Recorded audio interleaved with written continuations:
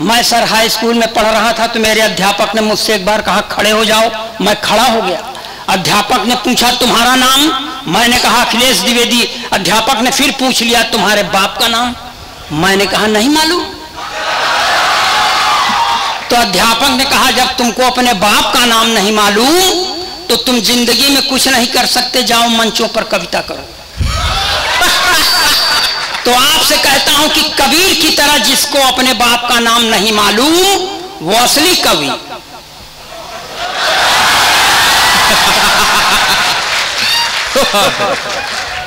जय हो। जी जब विश्वविद्यालय में कवि सम्मेलन हो हाँ, तमाम अध्यापक वृंद हो अध्यापिकाएँ न हो अनुचित है छात्र हो छात्राएँ ना हो। अनुचित। मगर अध्यापक भी हो अध्यापिकाएँ भी हो और छात्र भी हो छात्राएँ भी हो ज़रूरी है कवियों के लिए। अरे यार चिल्लाव अब चालू करब आवाज़ बढ़ाइए आवाज़। अभी हम धीरे धीरे गए गुजरे देह में किसी तरह तो एनर्जी भरता हूँ हाँ। उसी में बीच में अब बीच में मत बोलना बीच वालों से अपनी जान उग गई।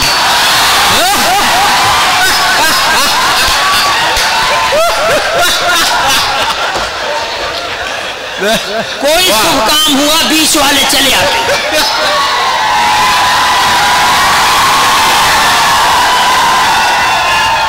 अब बीच में मत बोलिएगा नहीं ऐसा शराब दूँगा कि गोरखपुर में पैदा हो जाएँगे।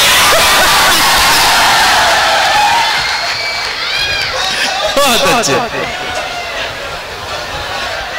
आड़े तिरछे ये सब अतरे में खड़ा होकर देख रहा है। आप लोग थोड़ा सा मन लगा कि जहाँ पावे वहीं बैठ जाए पुलिस बीच में खड़ा कर दिए। पुलिस वालन की देखी थे तो हमारा हाथ गोड़ कांपे लगे थे। योगी के राज में पुलिस का बड़ा टेरर बढ़ा है। आपको बताएँ मैडम आप बैठी हैं अब आपसे क्या झूठ बोलें? एक बार इलाहाबाद में एक पुल, पुलिस ने हमको पकड़ लिया कहा हेलमेट है हमने कहा है। कहे, कहा हम कहा ये टांगे हैं? कहा, लगा ले। हमने लगा लिया। कहा, कागज़ है? हमने कहा, बिल्कुल है। इंश्योरेंस है? है कहा अच्छा तब सौ रुपया दे। हमने कहा कि काहे सौ रुपया जब सब है, तब काहे दें? कहा, पुलिस से जबान लड़ाने का।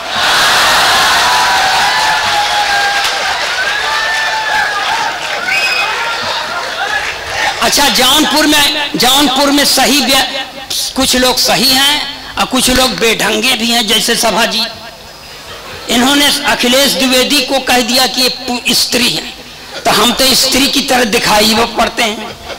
हम तो गई गुजरी दे, हमारा लड़का सर पढ़ता है, एम पीएचडी कर रहा है, वो बिज़नेस एडमिनिस्ट्रेशन से ट्रिपल आईटी इलाहाबाद में, हमसे कहता है, पापा, आप कहाँ जाती हैं?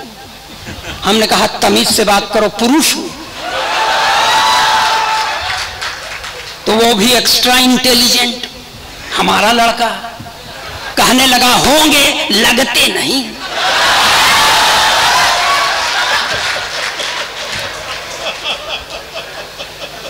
अब मंत्री जी मंत्री जी को बुला दिए एक तो यादव, दूसरे भाजपा में, तीसरे मंत्री, एक तो राजा इंद्र, दूसरे हाथे वज्र बहुत भय लगता है भाई साहब। मंत्री जी, अगर हमारे लोगों के समकक्ष बैठे होते तो ठीक है, लेकिन फिर कहता हूँ कि आप हमसे बहुत बड़े हैं, इसलिए आपके सामने हम खड़े हैं।